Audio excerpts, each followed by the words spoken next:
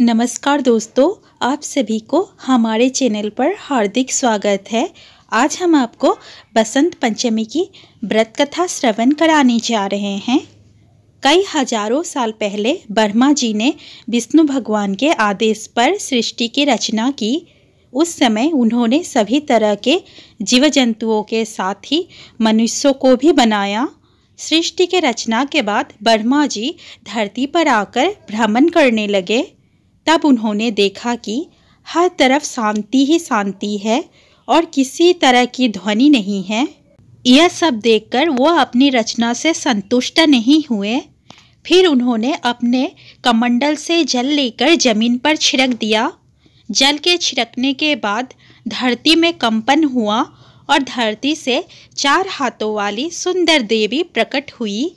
उस देवी के एक हाथ में बीणा, दूसरे में बर मुद्रा तीसरे में पुस्तक और चौथे में माला थी। चतुर्भुजी देवी ने ब्रह्मा जी के कहने पर अपनी बीणा से मधुर नाद किया। तब संसार के सभी प्राणियों को बाणी प्राप्त हुई। उस दिन के बाद से हर तरफ़ मधुर बाणी गुजने लगी। चिड़िया चह चहाने भवरे गुनगुनाने और नदियाँ कलकल करने लगी। उनके बीणा की मधुरता को सुनने के बाद ब्रह्मा जी ने उन्हें बाणी की देवी सरस्वती पुकारा। तब से ही उस चतुर्भुजी देवी को सरस्वती के नाम से जाना जाने लगा।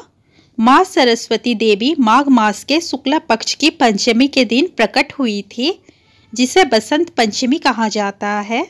तभी बसंत पंचमी के दिन को माँ सरस्वती के जन्मोत्सव के तौर पर भी मनाया जाता है। पौराणिक कथा के अनुसार भगवान श्री कृष्ण जी ने माता सरस्वती से प्रसन्न होकर उन्हें यह वरदान दिया था कि भक्तों द्वारा बसंत पंचमी के दिन उनकी पूजा आराधना की जाएगी। इसलिए बसंत पंचमी के दिन धूमधाम से माँ सरस्वती जी की पूजा की जाती है। माँ सरस्वती को शारदा, भगवती बीणा बादनी बीणा पाणी बागेश्वरी आदि नामों से जाना व पूजा जाता है। माँ सरस्वती द्वारा संगीत की उत्पत्ति हुई है। इसलिए संगीत भजन से पहले माँ सरस्वती जी की पूजा भी की जाती है। बोलिए माँ सरस्वती की, जय। दोस्तों, वीडियो अच्छा लगा हो तो प्लीज़ वीडियो को लाइक, शेयर और चैनल को सब्सक्राइब करना ना भूलें।